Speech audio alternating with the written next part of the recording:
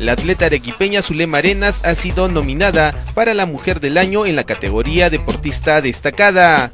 Me siento muy contenta porque me llamaron por la condecoración de la, por el mérito de la mujer 2014 y bueno, espero que voten por mí y bueno, sentir muy contenta, ¿no? Condecoración al mérito de la mujer lo promueve el Ministerio de la Mujer y Poblaciones Vulnerables. Me escogieron una de las mejores, eh, la federación me eligió a mí y bueno, dos atletas más que son eh, muy buenas en natación.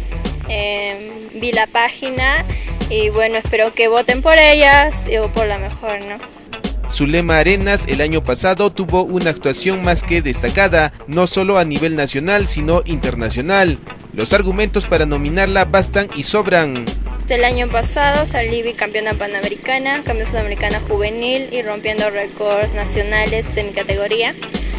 Bueno, ahora es otro año y espero mejorar mis marcas y a la vez traer una medalla para mi país en el mundial que me estoy preparando ahora. La arequipeña hace un llamado para que participen de la votación y lograr ser la mujer deportista del Perú 2014. Me invito a todos que voten por mí, espero que gane o bueno, que me sienta muy contenta y bueno.